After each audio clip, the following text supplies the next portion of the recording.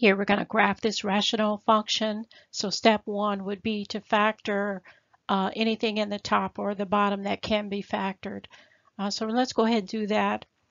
And notice now that we factored the bottom uh, that there is a common factor of x minus 1. So let's go ahead and cancel that out. And that also means that we're going to have a hole or point of discontinuity in our graph at that point find out where, you can simply take that factor, set it equal to 0, and solve for x. And here x equals 1, and that is where your point of discontinuity is going to occur.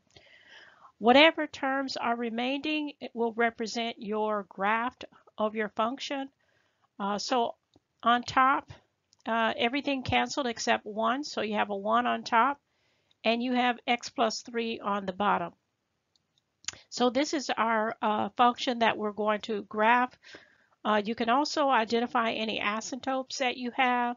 Uh, we can look at the bottom, take the bottom, set it equal to 0, and solve for x. x equals negative 3, so we'll have a vertical asymptote at uh, x equals negative 3. Uh, the fact that the degree of the bottom is greater than the degree of the top, uh, you're going to have a horizontal asymptote at y equals 0. Notice that the graph we're left with is really the parent function that has been shifted uh, three units to the left. But let's use everything that we've gathered so far.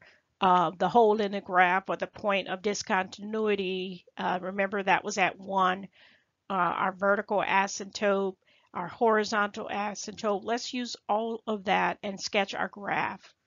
So this is what it looks like. And notice, yes, we do have a point of discontinuity or a hole right there at 1.